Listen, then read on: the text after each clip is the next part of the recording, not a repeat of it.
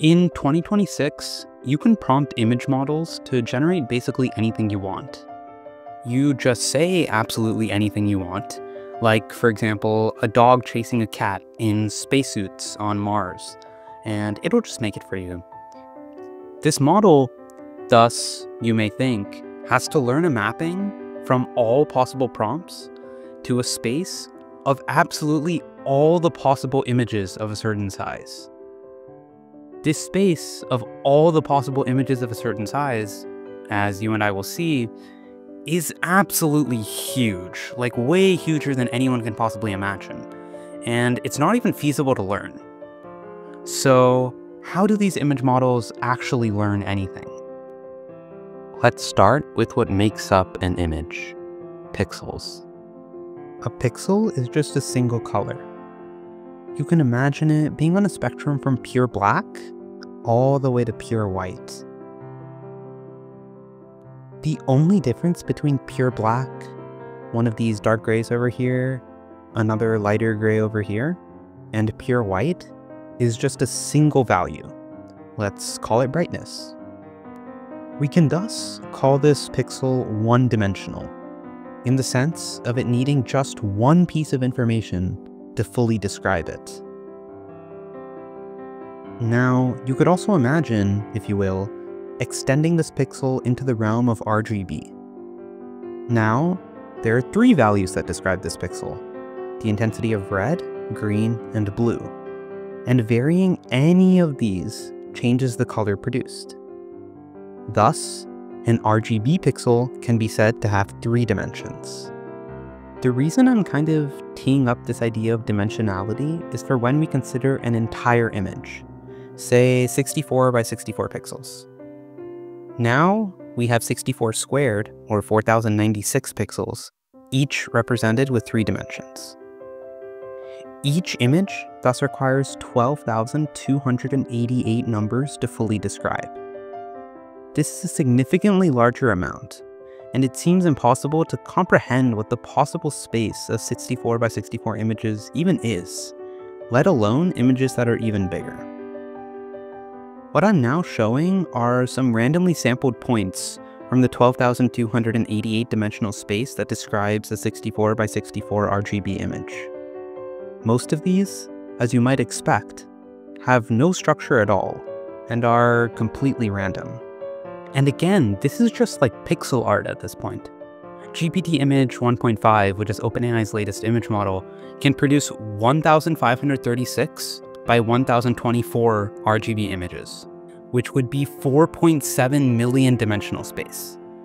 So let's just say that each of these RGB values was represented as an integer between 0 and 255, which by the way is a pretty common way to represent it in computers.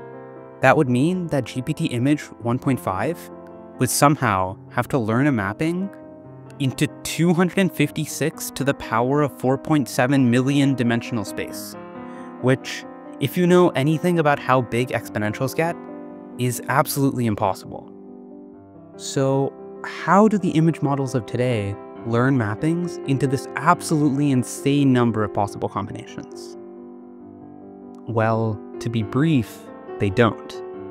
The reason the image models of today work so well is because the data of real images that models come across when training does not exist in this massive 256 to the power of 4.7 million dimensional space. Think about all the random images we sampled before, the absolute noise ones. Are those actually images the model would come across when training? Well, probably not, right? How often would a model come across images of pure, complete noise on the internet? It more likely comes across images with much more structure, such as this one, or this one. These images often share some structure too. So for example, most pictures of humans have shapes something like this. And pictures of the sunset often look something like this. A nice way to think about this fact is to think about the fact that to describe your friend, you don't have to show someone every single pixel of your friend. You just have to describe a few dimensions, like maybe their height, their weight, their eye color, their hair type, and maybe a few more. And given that human structure is basically the same for everybody, these few dimensions almost completely describe people. So these patterns significantly reduce the dimensionality of the space of images that a model is likely to be trained on. This is why the model is able to learn a reasonable mapping, because it only needs to map to a tiny, tiny, tiny, tiny, tiny fraction of possible images when a user prompts it. The intrinsic dimensionality is the term used to refer to this, and it's the absolute minimum amount of dimensions that are needed to span an entire dataset. It's hard to estimate exactly what the intrinsic dimensionality of any dataset is, though some people have tried coming up with estimates. For example, CIFAR 10 is a popular dataset with 10 classes and consists of 32 by 32 pixel RGB images. So if you just multiply everything, you would assume that the dimensionality of these images would be 3072. But researchers have found that the intrinsic dimensionality probably lies closer to 13 to 26, which is like 100 to 200 times smaller. A way you can see that the models of today struggle to map into every single possible dimension is simply by asking them to come up with pure noise.